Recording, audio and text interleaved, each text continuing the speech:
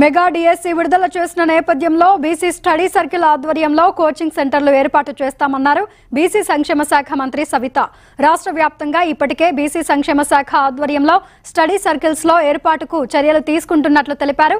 జగన్ కట్టిన అక్రమ ప్యాలెస్ల విషయంలో చట్టం తన పని తాను చేసుకుపోతుందని అన్నారు. గత ఐదేళ్ళలో తన ప్యాలెస్ పార్టీ ఆఫీసుల నిర్మాణం తప్ప రాష్ట్రంలో ఎలాంటి అభివృద్ధి జరగలేదన్నారు మంత్రి.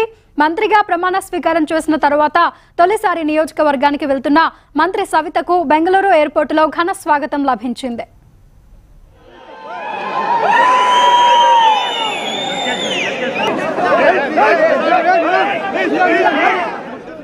వైసీపీ అక్రమ కట్టడాలపై చట్టపరమైన చర్యలుంటాయంటున్న మంత్రి సవితతో మా ప్రతినిధి ఫేస్ టు ఫేస్.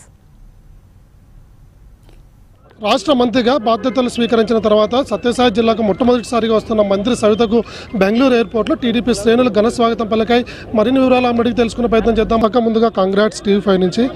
ఎట్లా చూస్తున్నారు? మొట్టమొదటిసారి ఎమ్మెల్యే తర్వాత ఎమ్మెల్యేగానే మంత్రిగా జాక్ పట్టుకుంటారు. ఎట్లా చూస్తున్నారు? ఏం చెప్పబోతున్నారు? మీ నాయకత్వానికి కానీ రాష్ట్ర ప్రజలకు?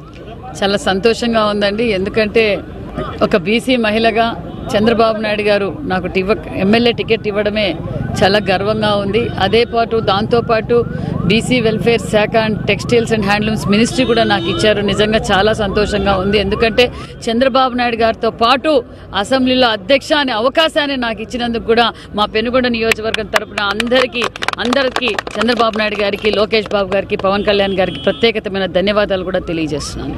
ముఖ్యంగా మీరు ఒక బీసీ మహిళగా ఆ వర్గాల ప్రజల ప్రతినిధిగా ఈరోజు ఎన్నికయ్యారు మంత్రిగా కూడా మీకు ఆకోటాలనే వచ్చింది.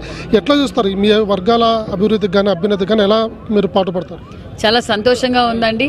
జనాభాలో యాభై శాతం గల బీసీల అందరికీ నాకు ఒక పెద్ద కుటుంబాన్ని ఇచ్చారు చంద్రబాబు నాయుడు గారు. ఖచ్చితంగా నా బాధ్యత నేను నిర్వహిస్తాను. ఈ ఐదు సంవత్సరాల్లో బీసీలు ఎన్ని అన్ని విధాలుగా బడుగు బడిగిన వర్గాలు అన్ని ఇబ్బంది పడ్డాయి. ఖచ్చితంగా రెండు వేల పద్నాలుగు పంతొమ్మిదిలో రాష్ట్రం విడిపోయినప్పటికీ చంద్రబాబు నాయుడు గారికి బీసీలకు పెద్దపీట వేసిన పార్టీ గతంలో తెలుగుదేశం పార్టీ అన్న నందమూరి తారక రామారావు గారు పార్టీ పెట్టింది. బీసీల పునాదుల నుంచి పెట్టారు. ఇప్పుడు కూడా బీసీలకు అన్ని విధాలుగా మేము అభివృద్ధి బాటలు నడుపుతున్నాం. చంద్రబాబు నాయుడు గారు మరియు మన పవన్ కళ్యాణ్ గారు ఎన్డీఏ ప్రభు ఎన్డీఏ కూటమిలో మొదటి సంతకం డిఎస్సీ అన్నారు. అలా మాట నిలబెట్టుకున్న ప్రభుత్వం తెలుగుదేశం ప్రభుత్వం అదే విధంగా BC corporation chair BC corporation ఏర్పాటు చేయబోతున్నాం. ఏదైతే మా నా- నాలా లోకేష్ బాబు గారు పాదయాత్రలో బీసీలకు ప్రత్యేకత చట్టం తెస్తామన్నాము ఖచ్చితంగా చట్టం తెస్తాం. ఎందుకంటే ఈ జగన్మోహన్ రెడ్డి బడుగు బడిగిన వర్గాలు నా బీసీలు అని చెప్పి ఓటు వేయించుకుని ఐదు సంవత్సరాల్లో నిర్వీర్యమే దాచుకోవడం దోచుకోవడం తప్ప గత ప్రభుత్వం చేసింది లేదు. ఏదైతే చంద్రబాబు నాయుడు గారు నాలుగో తారీఖు రిజల్ట్స్ వచ్చిన రోజు నుంచి అభివృద్ధి అనేది మొదలైంది. రాష్ట్ర వ్యాప్తంగా అన్ని డిపార్ట్మెంట్ అలర్ట్ అయ్యి ఆల్రెడీ మన ఫైనాన్స్ మినిస్టర్ ఢిల్లీకి వెళ్ళి కూర్చున్నారు. ఆల్రెడీ నిధులు కూడా మనం కేటాయిస్తున్నాం వ్యాపారస్తులు కూడా మేము పెట్టుబడులు పెడతాం. చంద్రబాబు గారి నాయకత్వంలో చంద్రబాబు నాయుడు గారి విజనరీలో మేము పరిశ్రమలు పెట్టడానికి కూడా సిద్ధంగా ఉన్నామన్నప్పుడే క్యూ కట్టారు. అది చంద్రబాబు నాయుడు గారి విజనరీ అంటే కూడా తెలియజేస్తున్నాం. గత ఐదేళ్ళలో ఎలాంటి అభివృద్ధి కార్యక్రమాలు చేపట్టిన వైసీపీ ప్రభుత్వం కానీ తన పార్టీ కార్యాలయాలకు మాత్రం రాష్ట్ర వ్యాప్తంగా ఎక్కడికెక్కడ భూములు కేటాయించుకుంది అడ్డగోలుగా నిర్మాణాలు కడుతున్నారంటూ కూడా ఈరోజు వార్తలు వస్తున్నాయి. ముఖ్యంగా తాడేకు వైజాగ్లో రుచికొండ ప్యాలెస్ అయితేనే మిగిలిన అన్ని చోట్ల కూడా పార్టీ కార్యాలయాలకు రాజభవన్లు మాత్రం కట్టుకుంటున్న పరిస్థితి. వీటన్నిటి ఎట్లా చూస్తారు? మీ పార్టీ ఇప్పటికే మీ ప్రభుత్వం ఇప్పటికే నోటీసులు కూడా జారీ చేసింది. అన్ని చోట్ల కూడా ఎక్కడైతే అక్రమ కట్టడాలు ఉందో వాటన్నిటి పట్ల ఎలా ఉండబోతున్నాం మీ ప్రభుత్వ చర్యలు? సార్ గత ఐదు సంవత్సరాల నుంచి యావత్ రాష్ట్ర ప్రజలు ప్రపంచం భారతదేశం అంతా చూసింది. ఈ జగన్మోహన్ రెడ్డి గారి సైకో పాలనలో ప్రజలు ఏ విధంగా ఇబ్బంది పడుతున్నారో మీరందరూ చూశారు.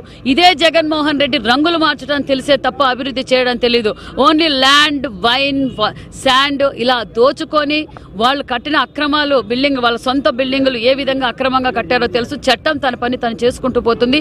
మేము కక్ష సాధింపు చర్యలకు మా మా విజనరీ లీడర్ ముఖ్యమంత్రి చంద్రబాబు నాయుడు గారు పవన్ కళ్యాణ్ గారు ఒకటే చెప్పారు. అభివృద్ధి ధ్యేయంగా మీరందరూ మంత్రులు కానీ ఎమ్మెల్యేలు కానీ మన పార్టీ ప్రజలందరూ ఐదు కోట్ల మంది మన ప్రజలందరూ మన వైపే చూస్తున్నారు.